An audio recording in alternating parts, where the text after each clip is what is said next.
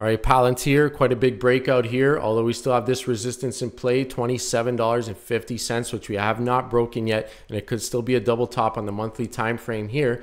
You could see there was like some loading after that earnings pop and then it dropped. There was some loading near the lows, setting higher lows, continue to set higher lows around that support area. You could draw a little bit of a trend.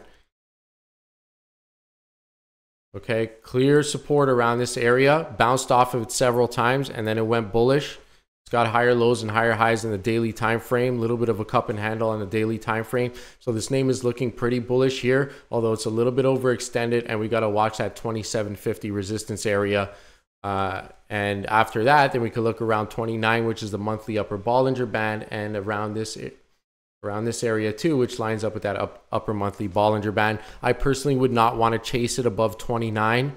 Uh, so I could see it potentially running to around 29, which is the next resistances I'd see.